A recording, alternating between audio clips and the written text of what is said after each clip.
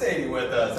Hey, yeah, that's a good girl. Uh, she's a hound mix, and she comes to us because she's got a couple uh, ill manners at home. Uh, one for sure is when you give her mom a call, uh, Sadie likes to bark at the cell phone. So uh, we're going to work on all those little quirks that she's got and uh, kind of get her all straightened out, make sure she's got some perfect manners.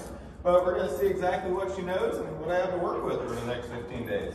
Hey, Sadie, come here. Hi, girl, you gotta come a little bit. Oh, gonna sit? I didn't even ask you to sit. Oh, you're going down? Oh, okay. Is this the belly rubs? Is this your natural state?